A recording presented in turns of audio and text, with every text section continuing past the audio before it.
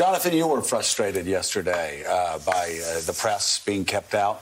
Yeah, I mean, we just played footage from Russian state TV, the Kremlin, of the initial moments of that mm. call with Vladimir Putin greeting Joe Biden and Joe Biden giving him a sort of over the This has happened before. It has. Uh, we, the White House press did not have access to yesterday's. Why not? Uh, to yesterday's meeting. The, they, it was not closed press. And, it, and, normally, something like this, as you well know, uh, you, there's the what's called a spray, and the press pool comes in and right. sees the top of the meeting. We're not, of course, don't anticipate. We're not going to sit there for all two hours, but you know, you'd be there for a few minutes. You see the, the two men greet each other, whatever it might be. The president Biden perhaps addresses us, and that didn't happen. The White House why has no spray? Moved. They didn't say publicly why not. They did two weeks ago when he had his video conference with President Xi of China. The press pool was allowed in for that. But this has not this has not been an uncommon thing where there has been less media access to some of these foreign leader meetings under this administration uh, than previous ones, and we'll, we certainly would like that to change.